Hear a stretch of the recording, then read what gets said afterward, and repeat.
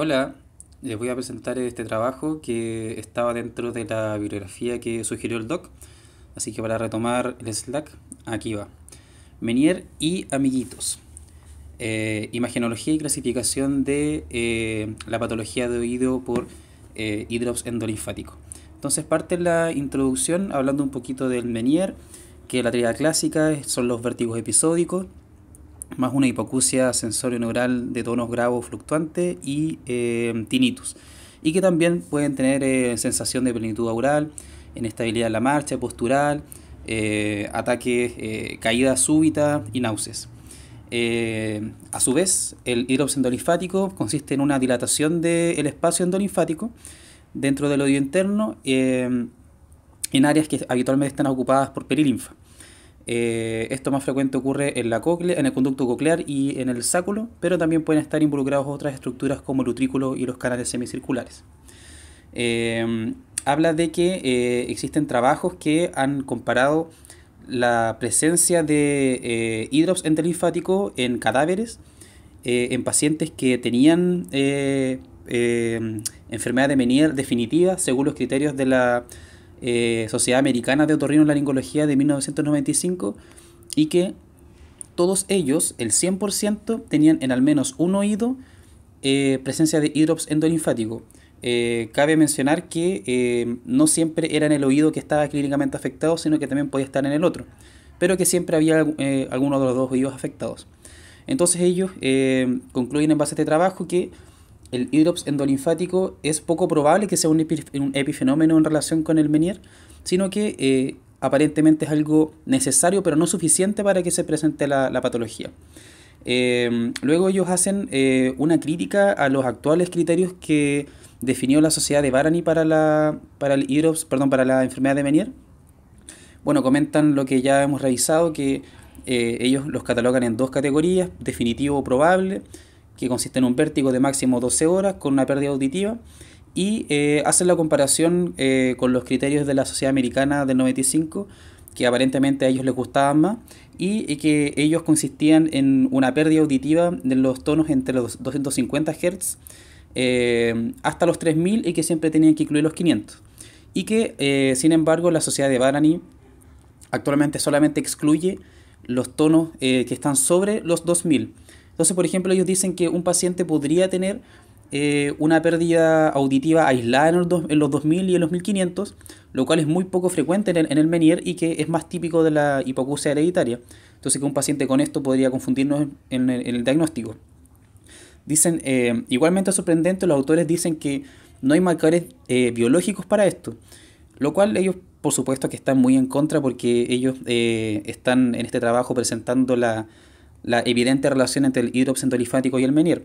Eh, entonces, eh, ellos aquí abajo dicen que eh, eh, es importante la, el- la presencia de hidrops endolinfático eh, adicionado a los síntomas porque nos va a ayudar a hacer la, la diferencia en otras patologías porque más encima en el 20% de los pacientes que tienen Menier puede tomar 5 años o más y en el 10% de los pacientes más de 10 años que los síntomas cocleares y, y vestibulares coincidan para poder hacer el diagnóstico entonces se hace muy confundente entonces algún tipo de imagen nos serviría las lecciones aprendidas eh, con respecto a las imágenes del oído interno en los humanos. Eh, hablan un poco de la técnica para realizar esto. Eh, actualmente se cuenta con el formato Turbo Spin Echo con reconstrucción en 3D que permite dar una resolución bien buena entre lo que se va a marcar, que es la perilinfa, y eh, la endolinfa, que en el fondo va a ser como el espacio negro que va a quedar. Entonces, uno con, con esta imagen puede hacer una buena eh, imagenología y diagnóstico de esto.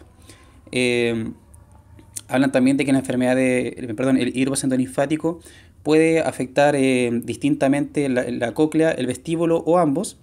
y que además esta imagenología podría ser útil para dar diagnósticos diferenciales del Menier en patologías que se superponen o que se confunden frecuentemente, como es lo más típico en la migraña vestibular.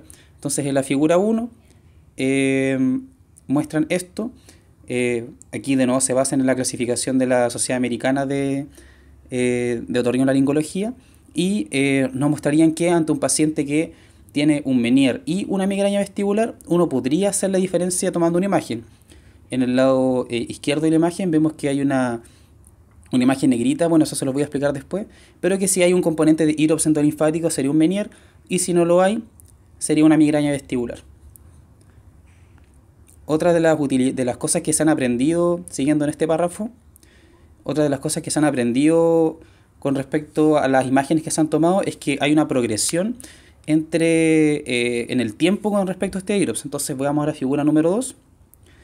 Vemos, eh, voy a partir por la C, que es una eh, resonancia con cisternografía que muestra una cóclea normal. Vemos cómo se llena toda la cóclea, se pueden ver las espiras ahí y un poquito más abajo uno puede ver la, eh, el vestíbulo, cómo se llena todo completamente con perilinfa, que es lo que más va a marcar. Y eh, muestran que en la imagen A, en un paciente, vemos cómo aparecen estas imágenes negras en la cóclea y ese, hoyo negro que está ahí era el vestíbulo, que está ocupado todo de, color negro, lo que hablaría de una dilatación del, de la endolinfa. Y vemos luego la imagen B, que corresponde a una imagen que se tomó dos años después y vemos cómo ha aumentado con respecto a la previa. Entonces hay una progresión con, esta patología eh, que puede ser eh, evidenciada con imágenes. También nos habla de que eh, es posible hacer una, correlación entre qué información vestibular está alterada y, con, y, y, que esto se puede correlacionar con eh, exámenes que tenemos actualmente. Me explico. Eh, dice que hay pacientes que tienen BEPA alterado y que eso se puede eh, correlacionar con una dilatación del ventrículo, perdón, del utrículo y o del sáculo, dependiendo del, de la imagen que, que vayamos a tomar.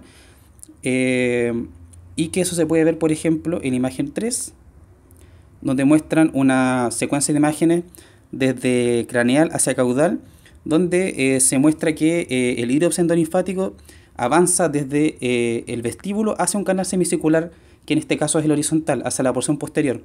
Y que ellos dicen que hay trabajos que han demostrado una relación entre que están alterados que observan la, función del, canal semicircular horizontal, no, no, mencionan cuál, pero podría ser un vejil, por ejemplo, eh, y que esté alterada también la imagen eh, con el hidrops. ellos proponen también una, una, clasificación que la vamos a ver un poquito más adelante, pero eh, de este párrafo rescatar que eh, con que esté eh, ocupado más de un 33%, o sea, más de un tercio de la, tanto de la cóclea como del vestíbulo, eso ya hablaría de que hay algún grado de hidrops endolinfático. En el fondo, si un tercio de la imagen está negrita, eso ya sería hidrops endolinfático. Y aquí está en la imagen 4. Entonces, en la imagen A vemos que es un hoyo normal que está ocupado completamente por eh, se, ve, se ve ocupado completamente por, por, perilinfa, que es lo que va a estar marcado en, blanco. Y eh, en imagen B ya vemos que está un poco más ocupado por esta imagen negra que sería el hidrocentro linfático. Eh, bueno, a mí me parece como el B un poco más severo que el C, pero en la descripción dice que el B sería un grado 1, que es un, un hidrops leve, que el C es un grado 2, que es moderado, y que eh, en la D es un grado severo. Eh, lo que sí, más allá de lo que uno pueda ver, se supone que lo que da la característica de que esto sea más severo es que se pierde como la parte redondeada de, de la perilinfa. Entonces, por ejemplo, ahí está como más redondito y aquí se pone más aplanado. Ellos dicen que eso es un marcador de que eso es un hilo severo. Con respecto a las formas de administrar el, el porque esto tiene que ser con contraste, eh, existen dos formas, la, endovenosa y la intratimpánica. La endovenosa, tenemos, todos sabemos las limitaciones que, tiene, daño renal, que es una punción, que se va a administrar un medicamento de forma sistémica. Eh, entonces ellos hablan un poco de la forma intratimpánica. Dicen que la gracia es que eh, con concentraciones muy pequeñas de, de gadolino, que serían mil veces menor a lo que hay que administrar endovenosamente, uno puede tener una, imagen de buena calidad. Eh, problema de esto, claro, que hay que pinchar el tímpano, que en oídos que son crónicos no, la absorción del, del gadolino no es muy buena, por lo tanto la calidad de la imagen no va a ser muy buena. Eh, y que, eh, pero que la evidencia demuestra que lo bueno es que no existe, esto no es, no es tóxico para la cóclea.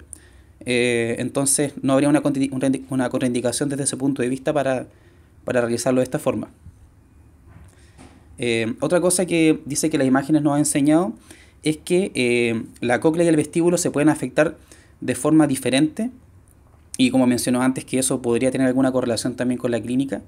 Eh, y lo otro es que en la enfermedad del de, eh, linfático frecuentemente está alterado el oído contralateral hasta en un 65% de los casos, a pesar de que ese oído no, eh, no tenga síntomas, o que al menos al momento de la imagen no tenga síntomas.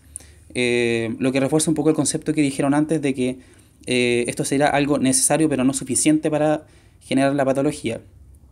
Eh, también hablan un poco de que eh, en estudios se ha visto que la, la, el hidrocentro linfático, si bien en, la mayoría de las veces eh, hay una dilatación cocleovestibular, tanto de la cóclea como el vestíbulo, es un poquito más frecuentemente en el vestíbulo, lo que contrasta con estudios anatómicos que se han hecho donde aparentemente lo más frecuente es que sea coclear.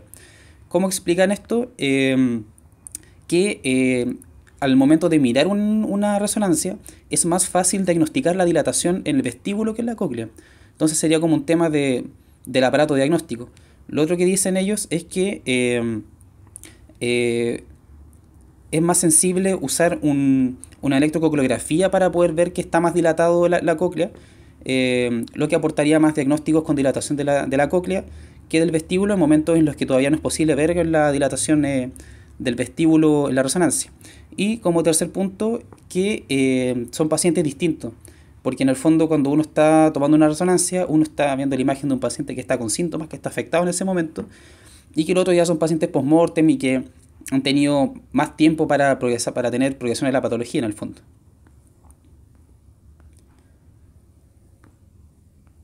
Eh, con respecto a más evidencia, dicen que eh, en pacientes que tienen una hipoacusia sensorio neural fluctuante de bajas frecuencias, eh, todos estos pacientes tienen una, una, un eh, endolinfático, especialmente en, la, eh, en el ápice de la, de la, cóclea, y que esto también es válido para pacientes que tienen hipoacusias sensorio-neurales de baja frecuencia de forma aguda. En contraste a que cuando tienen una hipoacusia sensorio-neural que no afecta las frecuencias graves o que no tiene vértigo, no se asocia a un hidrocentro linfático. Eso aportando más eh, evidencia a esto.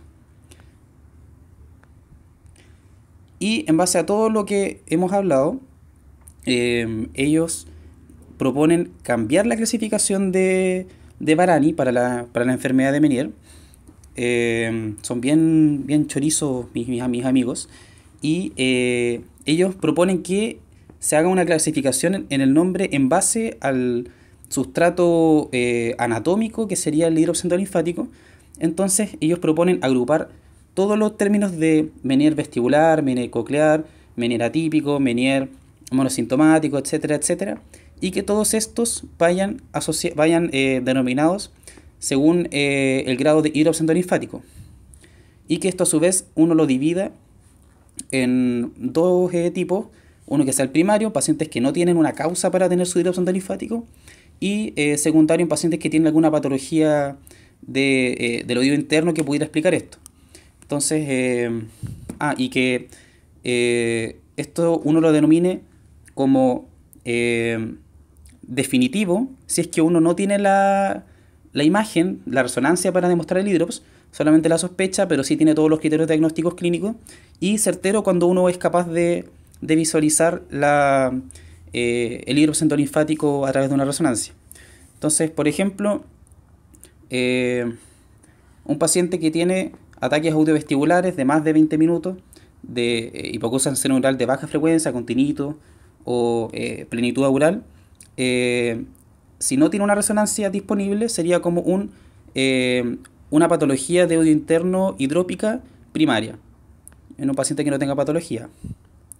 Y si, por ejemplo, otro caso, un paciente tiene un vértigo recurrente con, eh, eh, con ataques vestibulares, como se escribieron antes, eh, y con, una resonancia que muestre un hidrocentro linfático, esto sería un, una patología de oído hidrópica primaria de tipo vestibular, si es que tiene solamente tipo vestibulares o cocleares si es que tiene eh, síntomas cocleares o vestíbulo coclear si es que tiene ambos. Entonces, este es el cuadrito como que ellos proponen para hacer la clasificación. Eh, en el que la patología de oído interno hidrópica primaria se separaría en cocleo vestibular, coclear o vestibular, dependiendo de si tiene síntomas cocleares, vestibulares o ambos. Y eh, secundaria si es que tiene alguna patología eh, asociada que explique esto, como la laberintitis, una meningitis, un acueducto vestibular elongado, etc. Eso, este trabajo es de unos alemanes de Múnich encuentro interesante, un poco quizás agresivo con, con la sociedad de Barani, eh, pero bueno para, para, aprender cómo ver la hidropesia endonifática en la resonancia y, y solicitarlo en, en, casos de duda quizás o en alguna situación que pueda meritar tomar la imagen. Eso. Adiós.